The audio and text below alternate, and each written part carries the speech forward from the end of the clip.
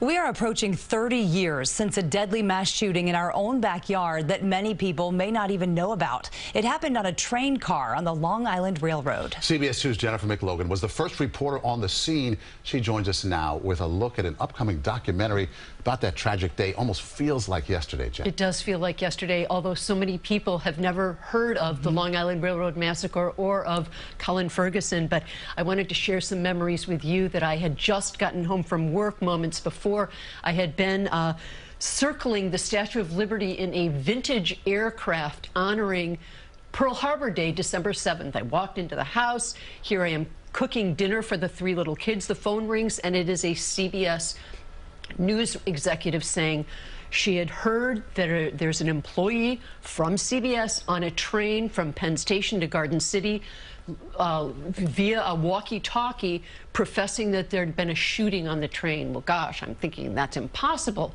I grab the camcorder and I start walking down the block, two blocks to the Maryland Avenue train station.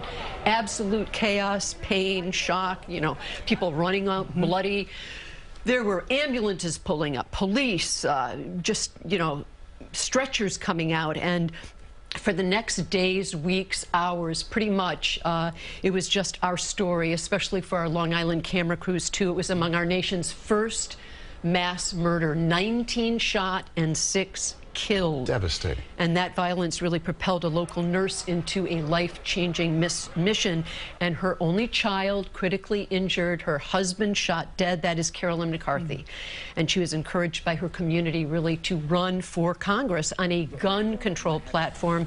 She retired, as you know, after nearly two decades on Capitol Hill her mission never realized. Well, we traveled to Fl Florida for this 30th anniversary of the LIRR massacre and our documentary, and Carolyn wanted to share some of her memories.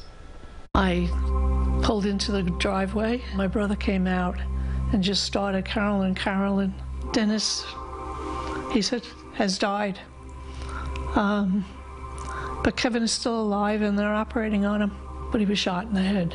I will have to endure painful, timely, and constant rehabilitation due to this madman's actions. Everything that I had wanted to say about my husband, you don't deserve to hear. Justice has been done, but I don't think you can ever say it's a happy occasion. I am announcing today that I am running for Congress. That's when I first won. Anything I could do to make sure this doesn't happen to anybody else, I will give my life to do that. Wow. The CBS documentary is produced by Carolyn Gusoff and edited by John Applegate. It also is uplifting, though, although riveting and emotional. Um, you'll see lives moving forward. In fact, we have a segment in our documentary of a woman who was pregnant at the time. Uh, she had her baby in the womb. She survived the shooting and just recently went with that baby, now an adult, to buy her wedding dress. Wow. So, it's, you know, lives moving forward. They do, but the initial shock, I, I, grew up on Long Island. I was working in California at the time of this. I'll never forget it. I was so shocked, so upset by what was happening in my hometown. And I remember telling someone in California about this, and he said, Really, it doesn't surprise me. New York's a very violent place. That was the wow. perception hmm. of this guy and others out there. But that's not at all the case. This was a true shock, and it still remains that, that way. A quiet suburban shaken to the core.